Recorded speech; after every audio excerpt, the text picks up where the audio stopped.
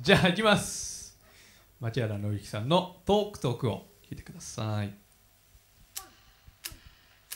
遠く遠く離れていても僕のことがわかるように力いっぱい輝ける日をこの街で迎えたいえ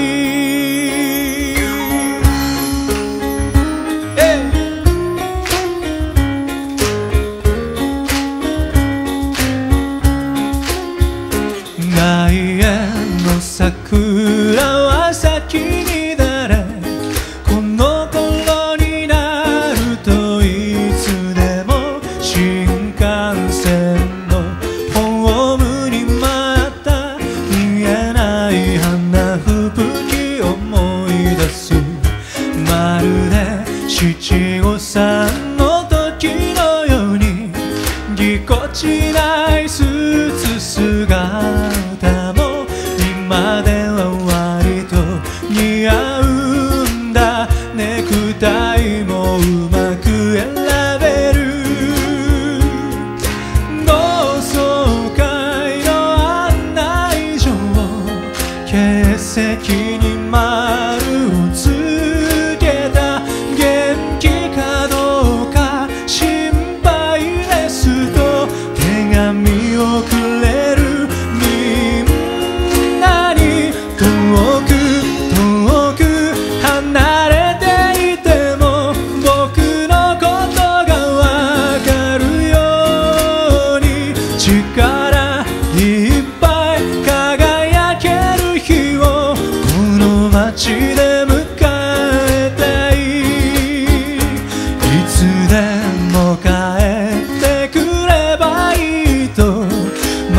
中の公衆電話で言われた時笑顔になって今まで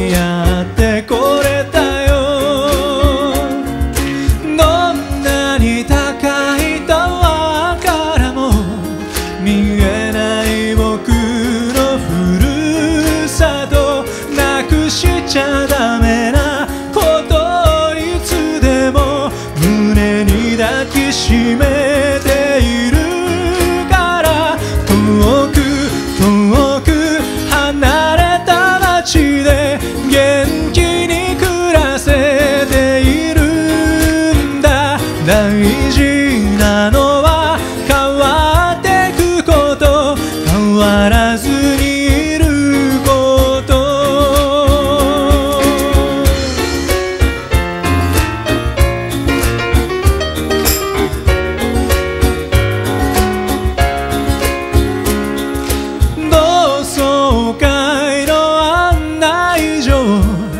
欠席に丸をつけた。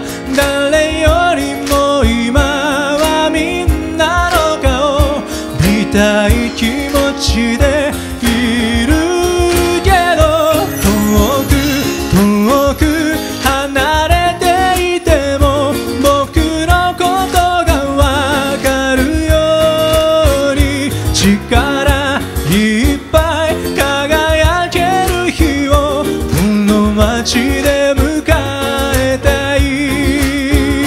僕の夢を叶える場所はこの街と決めたから。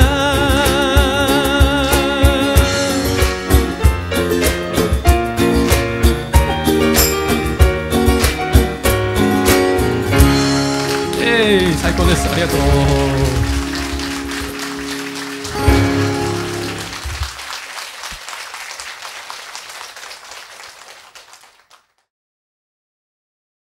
最後までご視聴ありがとうございます。チャンネル登録そして高評価ボタンぜひよろしくお願いします。